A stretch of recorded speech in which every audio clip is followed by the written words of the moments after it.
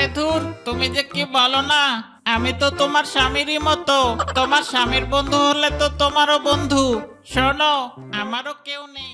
শিমুলতলি জঙ্গলে শেফালি নামের এক শিয়ালিনী তার মেয়ে টিনার সাথে বাস করত। শেফালি শিয়ালিনীর স্বামী বল্টু শিয়াল মারা যাওয়ার পর শেফালি শিয়ালিনী অনেক কষ্ট করে সে তার সংসার চালাচ্ছে।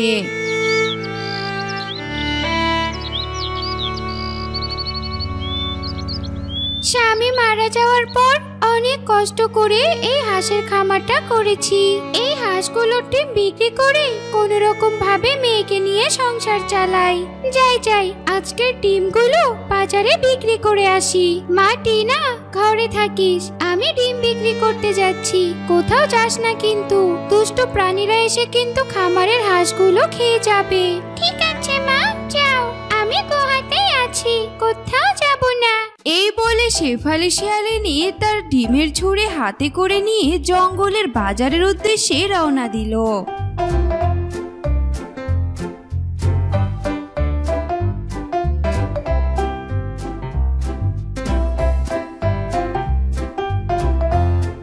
শিয়ালিনী ভাগ্নি, কেমন আছো? তোমাকে অনেক দিন পর দেখলাম। তোমার স্বামী বল্টু শিয়াল বেঁচে থাকতে তো প্রায় আমাদের গুহায় আসতো। আমার স্বামীকে মামা বলে ডাকতো। খুব খারাপ লাগছে। অকালে বল্টু শিয়ালটা মারা গেল। তা তুমি কি করে তোমার সংসার চালাচ্ছ? শুনেছি তোমার একটা মেয়েও আছে। আর বলো না, মামি। স্বামী মারা যাওয়ার পর প্রথম প্রথম খুব কষ্টে দিন কাটছিল। তারপর বুদ্ধি করে আমি একটা হাঁসের খামার করেছি। এখন আমার খামারের হাঁসের ডিমগুলো বাজারে বিক্রি করে কোনো রকম ভাবে আমি আমার সংসার চালাচ্ছি। ও তা তুমি শিকার ধরতে পারো না? এভাবে মানুষের মতো হাঁস পালন করা শুরু করে দিয়েছ? মামি প্রথম প্রথম শিকার ধরার চেষ্টা করেছি কিন্তু শিকারের সাথে দৌড়ে পারতাম না। আমাকে বোকা বানিয়ে শিকারগুলো চলে যেত। এভাবে অনেকদিন না খেয়েছিলাম। পরে জঙ্গলের ভেতর একজোড়া হাসাহাসিকে কুড়িয়ে পেয়েছিলাম। সেই হাসাহাসি দুটোকে গুহায় নিয়ে গিয়ে যত্ন করে বড় করে তুলেছি।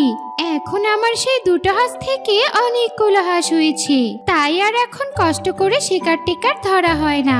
হাঁসের ডিমগুলো বাজারে বিক্রি করে বাজার থেকে মাংস কিনে এনে সেই মাংসগুলো মা মেয়ে খাই বাহ, খুব ভালো বুদ্ধি খাটিয়েছো দেখছি। তা এক কাজ করো, আজ বরং ডিমগুলো আমাকে দিয়ে দাও। আমার কাছে বড় একটা হরিণ শিকার করা আছে। আমি তোমাকে হরিণটাই দিয়ে দিচ্ছি। মা মেয়ে মিলে মজা করে হরিণটা খেও। আমার ছেলে হালুম, ও আবার ডিম খুব পছন্দ করে। আচ্ছা আচ্ছা মামি, ঠিক আছে। তুমি ডিমগুলো নাও। আর ডিমের বদলে কিচ্ছু দিতে হবে না। তোমাকে আমি ফ্রিতেই ডিমগুলো দিচ্ছি। আরে না না ফ্রিতে ডিম নিতে যাব কেন?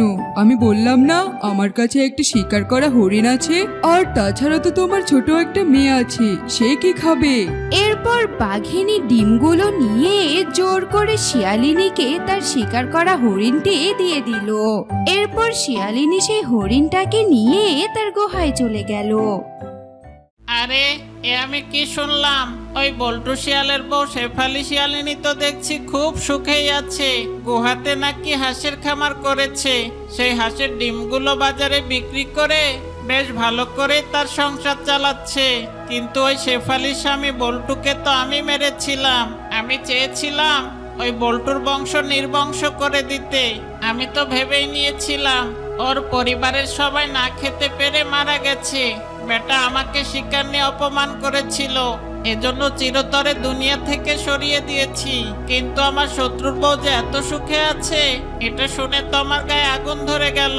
যে করেই হোক ওই বল্টুর বয়ের সুখ আমাকে নষ্ট করতেই হবে। কিন্তু কি করে করব?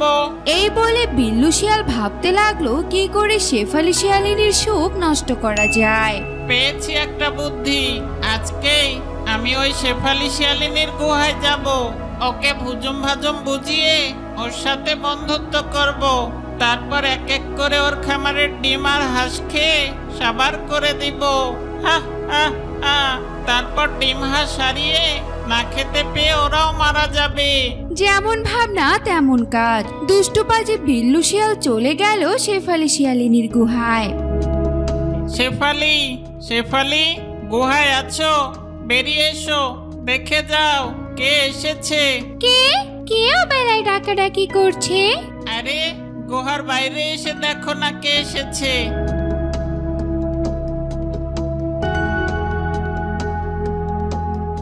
আরে তুমি তো দেখছি একটা শিয়াল। তা কে তুমি? তোমাকে তো চিনলাম না।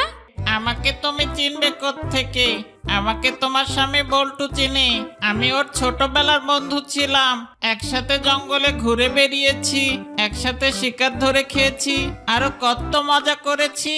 আহারে, বল্টুটা অকালে মারা গেছে। ওর মৃত্যুতে আমার খুব খারাপ লেগেছে। তাই এসেছি তোমার কাছে। তোমাদেরকে যদি কোনো সাহায্য করতে পারি, তাহলে আমারও খুব ভালো লাগবে। আমি চিন্তা করেছি আজ থেকে তোমাদের সকল কাজ আমি করে দিব। তোমাদের আর কষ্ট হতে দিব না। না না বিল্লু ভাই আমার কোনো সাহায্যের প্রয়োজন নেই। আমি আমার মেয়েকে নিয়ে খুব সুখে আছি।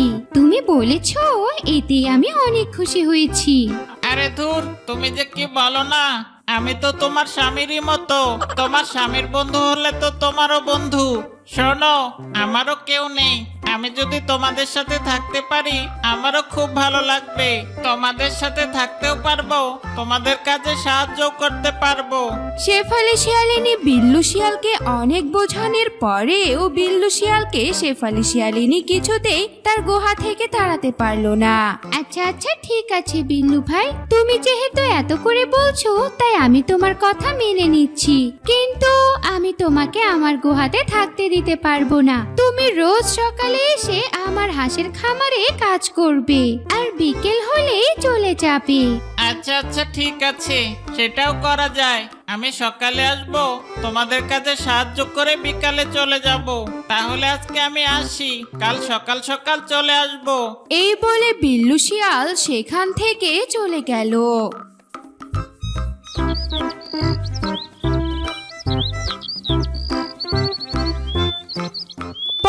সকাল হতে বিল্লু শিয়াল শেফালি শিয়ালিনীর হাঁসের খামারে কাজ করতে চলে এলো। শেফালি ভাবি আমি এসেছি তা আজ কি কাজ করব বলো? শোনো বিল্লু ভাই আমি হাঁসের ডিমগুলো বিক্রি করতে বাজারে যাচ্ছি। তুমি এক কাজ করো তুমি হাঁসগুলোর জন্য খাবার এনে দাও।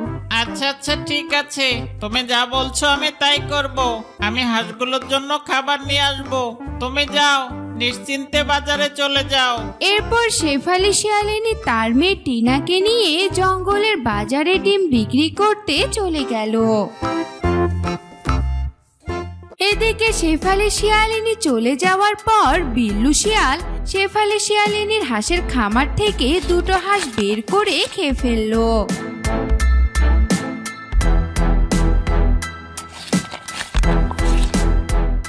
হাঁসগুলো খেতে কি যে সুস্বাদু, কি যে মজা পেলাম। কচি হাঁসের মাংস বলে কথা, যে খায় সে জানে। আহ, আজকে তো দুটো হাঁস খেলাম, এখন তাড়াতাড়ি যাই। নদী থেকে হাঁসগুলোর জন্য খাবার আনি।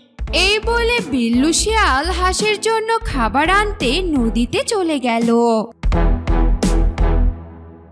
বন্ধুরা, তোমাদের কি মনে হয়? শেফালি শিয়ালিনী যখন তার হাঁসের খামারে এসে দেখতে পাবে তার দুটি হাঁস নেই, তখন বিল্লু শিয়াল শেফালি শিয়ালিনীকে কি জবাব দিবে? তা যদি তোমরা জানতে চাও, তাহলে এই গল্পের দ্বিতীয় পর্বটি দেখতে একদমই ভুলো না। বন্ধুরা, আমাদের এই গল্পটি তোমাদের কাছে কেমন লেগেছে? যদি ভালো লেগে থাকে, তাহলে লাইক করে দিও। আর কি ধরনের গল্প দেখতে চাও, তা অবশ্যই কমেন্টস করে জানিয়ে দিও। আর এরকম আরও মজার মজার কার্টুন ভিডিও পেতে আমাদের চ্যানেলটি সাবস্ক্রাইব করে দিও।